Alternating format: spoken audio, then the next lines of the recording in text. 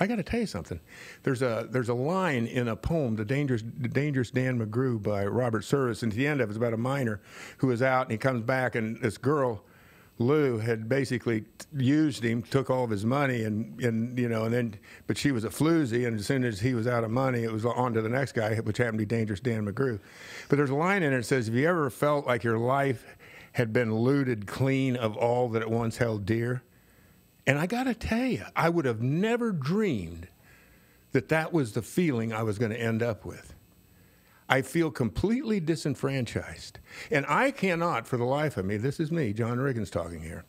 I can't understand how anybody who once played under the, the, the old franchise name, the, the original franchise name, could possibly want to be a part of anything with Washington Commanders it just like I said, I feel completely disenfranchised, and it's like all of a sudden you've entered oblivion. And I, I, you know, for the guys, I mean, everybody's gonna make their own decision, and that's cool. You know, it's like the guys that showed up last week.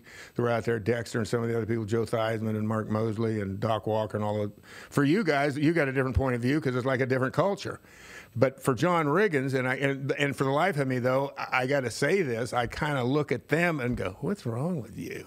Don't you get it? You were invited to your own funeral. You got to, you know, view the.